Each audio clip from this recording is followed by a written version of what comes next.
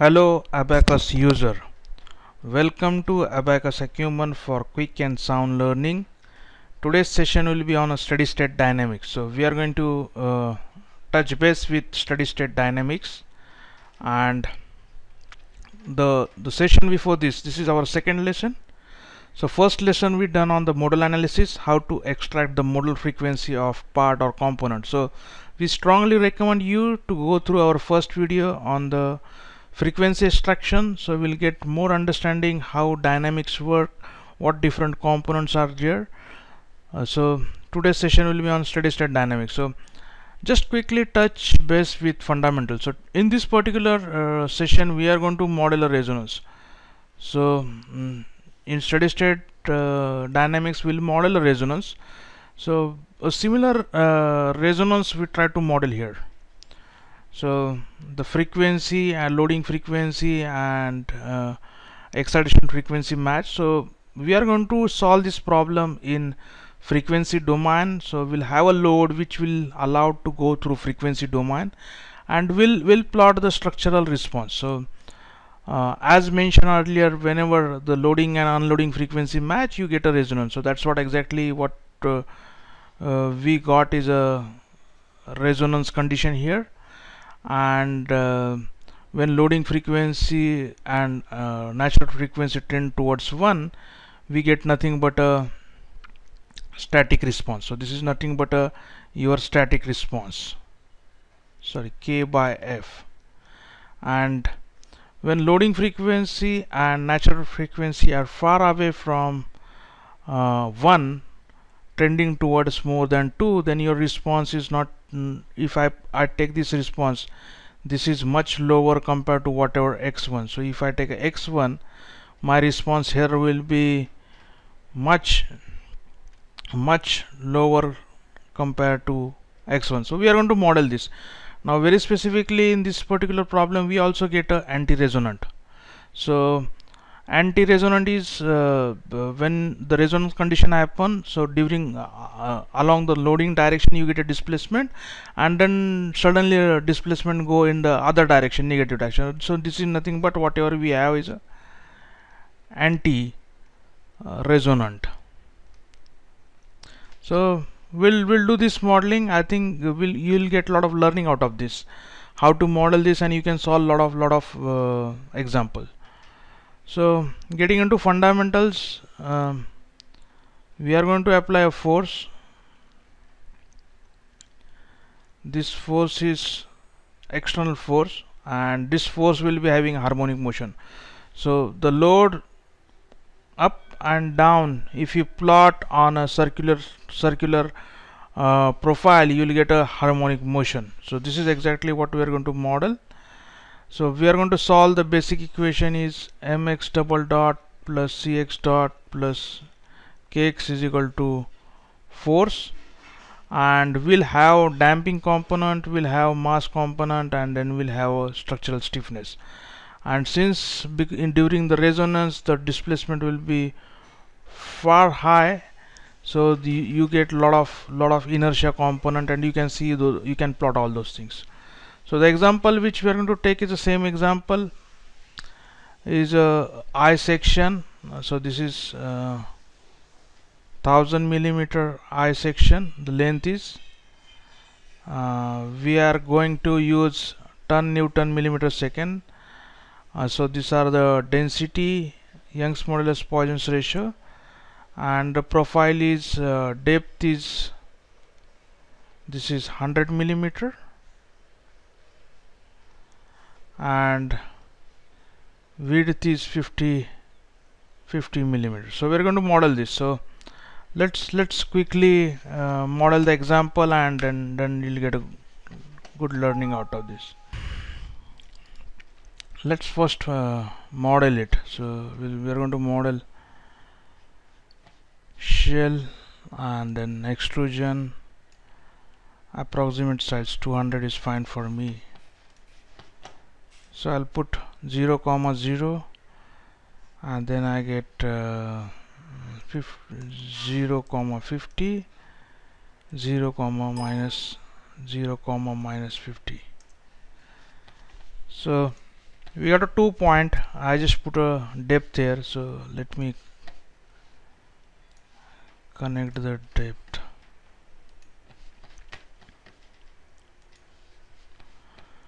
and then we'll have this.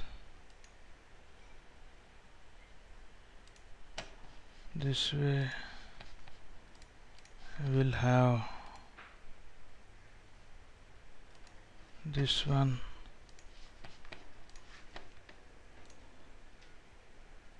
So I'm just uh, drawing a flange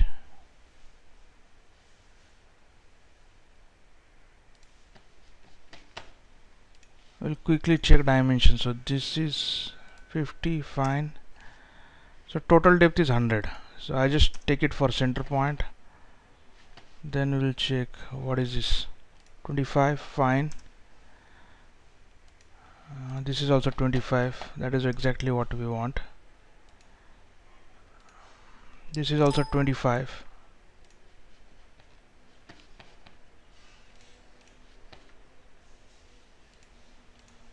25 perfect and then so we have perfect structure so let's extract it do a extrusion of 1000 so we are quickly able to build a component. So we have component we are going to give vertical load and we are going to, to understand what is the resonant frequency and what particular frequency the component is going to resonate and what are the displacement so we'll put a property here. Right now we'll put steel. Uh, we'll put a density of this 7 point e e5 minus 09 this is ton per millimeter cube. We are going to use SI unit. And uh, modulus is 10 e power 03 MPa and Poisson's ratio is 0.3 so we done with uh, metal property definition. We will give a section. So the thickness is a 5 millimeter. So this is a 5 millimeter thick component. Uh, we are going to assign it to this section to this so we are we assign the thickness. Now the next thing is we'll do assembly. So we'll go sequence by we'll create assembly for this part. Then we'll create a step. So now the first first condition is we'll will first understand the the modal frequency of this. Once you understand the modal frequency then then we'll apply the load. So I'm going to first create the number one prerequisite for the getting a steady state dynamics is you should have a first as a frequency uh, step. So this is first you need to extract the frequency. So first extract the frequency. So I'm going to extract the first five mode. Uh, this will be the one end will be fixed. So I'm going to uh, put a constraint on the one side. It will be encastre condition here. So this is a cantilever beam I section. So we are going to first put boundary condition on one end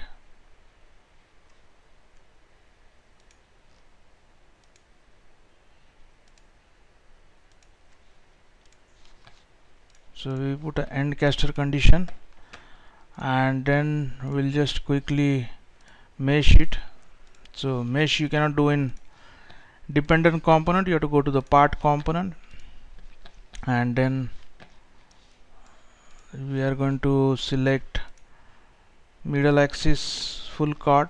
So we can get a good quality mesh and then we are going to put we are going to see it 5 so uh, we'll have at least 7.5 that way. So uh, you can have fine mesh to capture the deformation mode but it should not be so fine that it take a lot of time. So we are doing a quick problem so I'm just uh, uh, doing this with coarse mesh. So we have already selected S4R. Now we'll quickly mesh it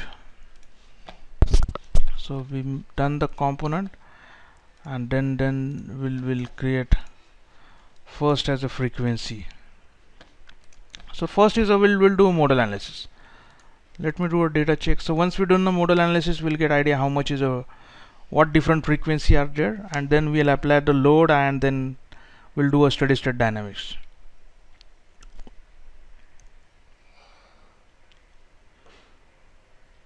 So pre-processor then there is no issue. So we'll submit the run. So we'll submit and get first hand information on what different modes we got. So we are done it. So let's check the result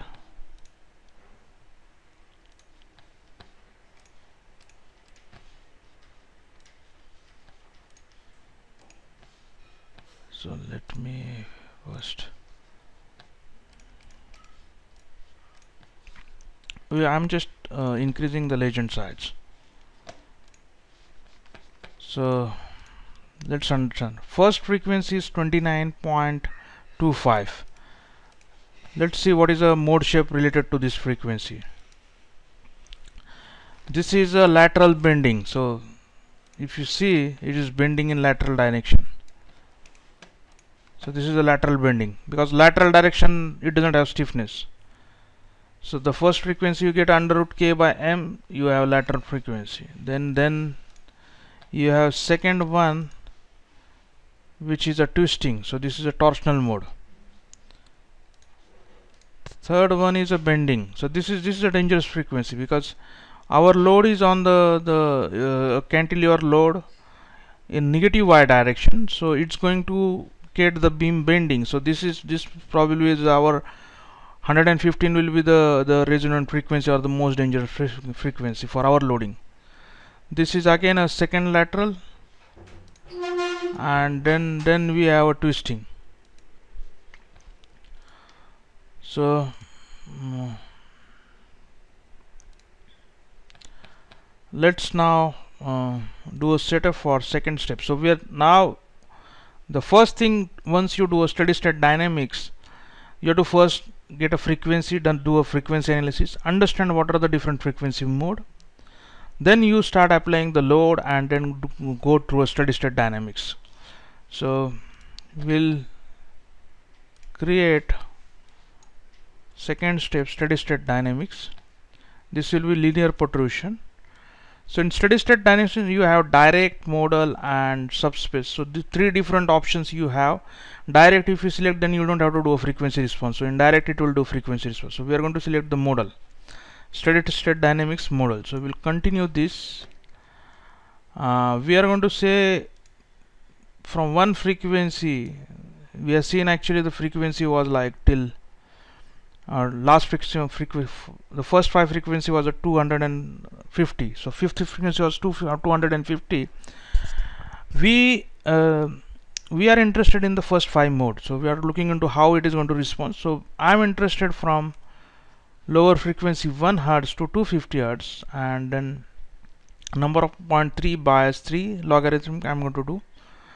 I'm going to put a structural damping here from first mode to fifth mode and the structural damping is 5% so in the world the, the, the structural damping is maximum is a 5% so if you want to have other uh, damping you can add uh, add Rayleigh damping composite damping you can add it. We, we right now we are just looking into what is structural damping. So there is no external damper in this this uh, this component. You have cantilever beam subjected to load and we, the damping is structural damping 5% so we are done that. I will just apply the load. So we are going to apply concentrated load.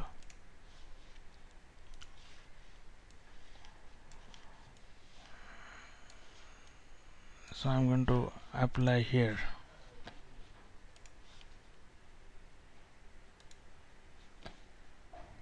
done I'm going to apply minus 1000 so this is a load we are going to uh, apply. We are not going to apply the the complex part. We are going to apply the real part.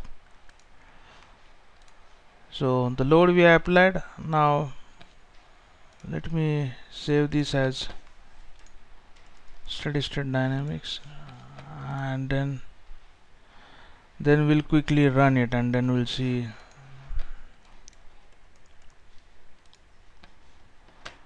so we have two steps. One is frequency and the other is steady state dynamics. So we'll do a data check and then we'll quickly run it.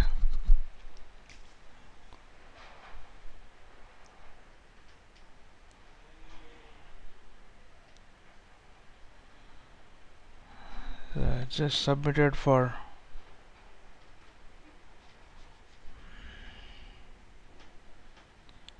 we'll submit it now. So the procedure is we should have first frequency steps then you have steady state dynamics. So we submitted. We'll quickly monitor how it's going.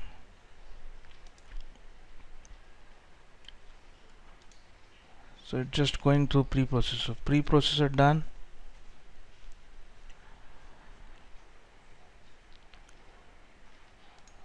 So it's almost done so let's plot um, uh, the displacement over a period of frequency. So you go to tool create data you create it. Uh, but before that we need to put it on the displacement. We'll look for different so we'll see how how over a period of frequency how this displacement changes. So we'll plot vertical. So I'm going to plot xy plot go to ODB field output.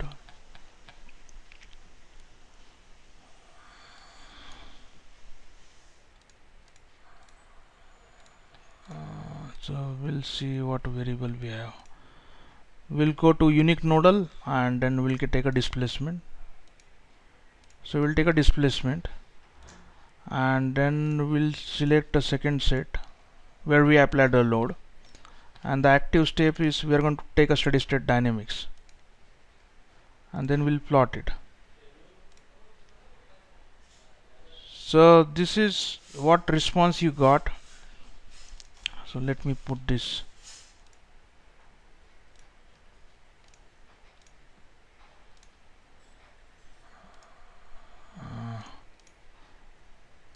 so we have displacement and we have frequency. So let me uh, increase the font size here.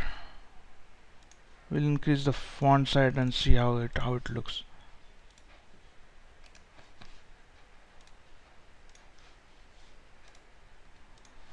So you get a very high displacement near to 120 115 frequency and then you have anti-resonant condition so displacement also.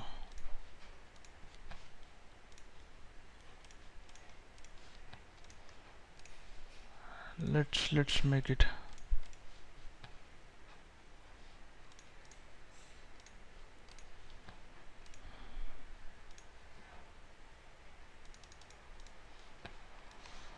So we'll just increase the count here and here also I'll increase the count.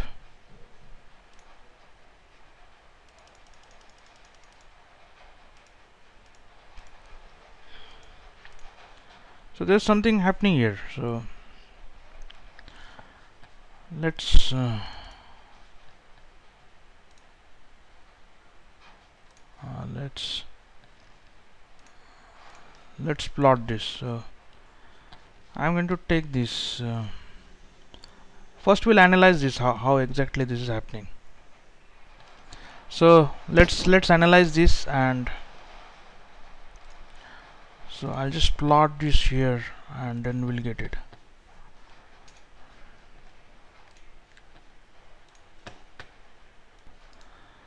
This is your this is what we plotted is y displacement. So we'll also plot a magnitude. So let let's consider first plotting magnitude also. So again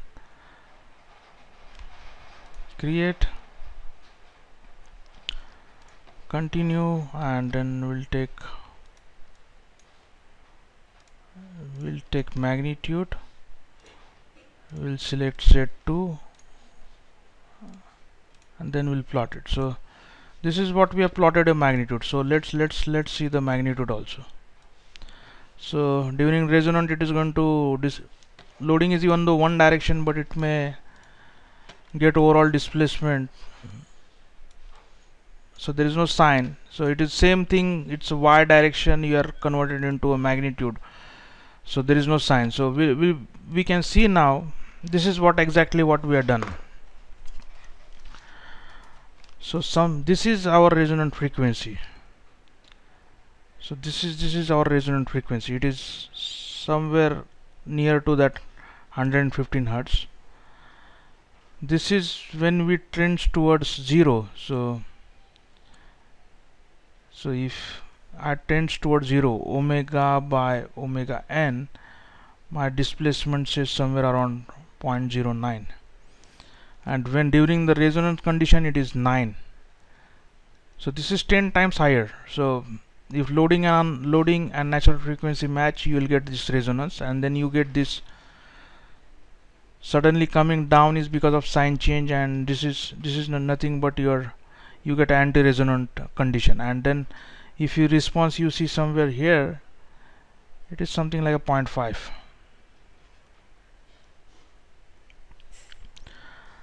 now now let's say now let's let's go back and check now let's go back and check. Uh, we'll see the frequency. Why we didn't got uh, uh, specifically uh, when actually our first frequency was first frequency was lateral. So our load is not giving lateral displacement so we doesn't get a uh, resonant during this this frequency which is a 29 then our second frequency was 75 which was a torsional frequency. Our load is not giving torsional displacement so it was not issue. Third frequency was really matching with what our load gives. So our load also give a vertical displacement and this is exactly a, a resonant frequency for current problem. If our load was in lateral direction we could have got a lateral uh, resonant corresponding to that. So we could have got the the resonant during the 29.25 frequency. And then then we have this other mode which is also not not uh, and then then the last one is torsional. So this is what exactly we do. So we can uh, that is what exactly we see we doesn't see anything in this range then we specifically see in the this range. Now I mentioned even my earlier video and at the start of this presentation that when it trend towards zero this is nothing but your static response. So just not to waste everybody's time I just done a static analysis for this which give a displacement of 0.99 millimeter. So if you see here it is nothing but your 0.99 so this is this is your static response. So this is exactly is your static response. And then your your applied frequencies loading frequencies far higher than 2 or 3 then you can just do a static analysis and say okay your component is safe for the dynamic analysis. So this is a brief uh, on today's session. So just to summarize um, first you have to do a frequency analysis get a frequency analysis and get a number of modes. Second thing in steady state dynamics you put a damping structural damping. If you doesn't put damping this will go infinite. So we'll we'll we'll do one more problem next problem where we'll not give a damping and we'll see how the the response get infinite.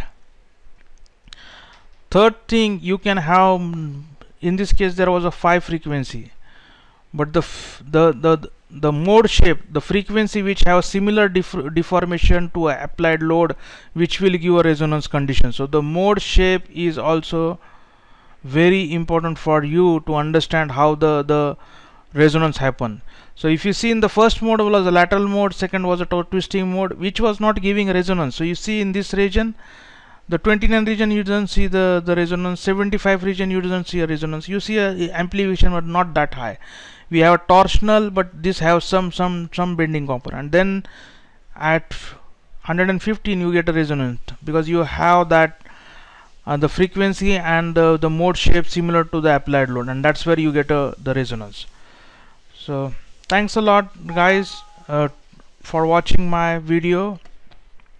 And uh, uh, I thank you for watching this video. Also if you like this uh, video and channel don't forget to like us and subscribe us. Thank you. Bye bye